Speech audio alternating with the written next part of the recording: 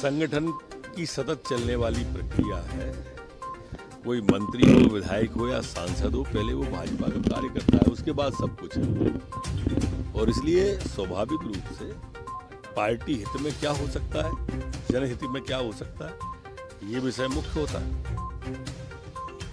जिस तरीके से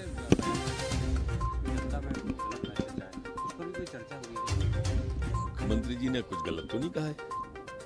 कोई भी चीज़ भ्रम न फैलाए, ऐसा मुख्यमंत्री जी ने कहा है। सबकी सहमति है।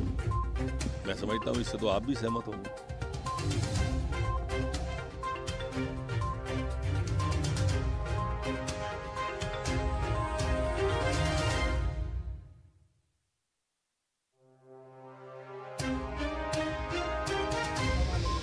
संगठन की सतत चलने वाली प्रक्रिया है। कोई मंत्री हो विधायक हो या सांसद हो पहले वो भाजपा का कार्यकर्ता है उसके बाद सब कुछ है।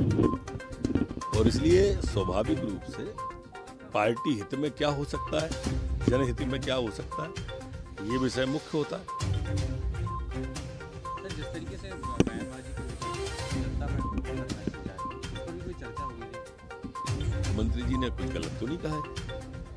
कोई भी चीज़ भ्रम न फैलाए, ऐसा मुख्यमंत्री जी ने कहा है। सबकी सहमति है। मैं समझता हूँ, इससे तो आप भी सहमत होंगे।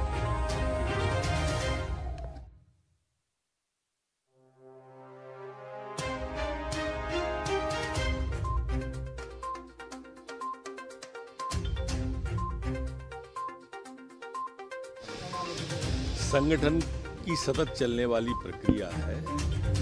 कोई मंत्री हो, विधायक हो या सांसद हो, पहले वो भाजपा का कार्यकर्ता है, उसके बाद सब कुछ है। और इसलिए स्वाभाविक रूप से पार्टी हित में क्या हो सकता है जनहित में क्या हो सकता है, ये विषय मुख्य होता है।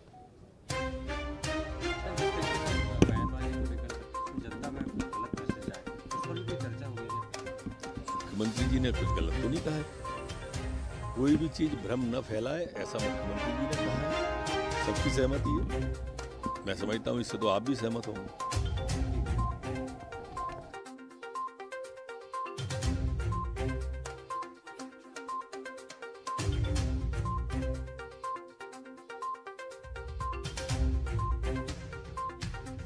मैं हूँ सीमा वर्मा और आप देख रहे हैं time eight Madhya Pradesh. Time eight Madhya Pradesh आपका अपना चैनल है।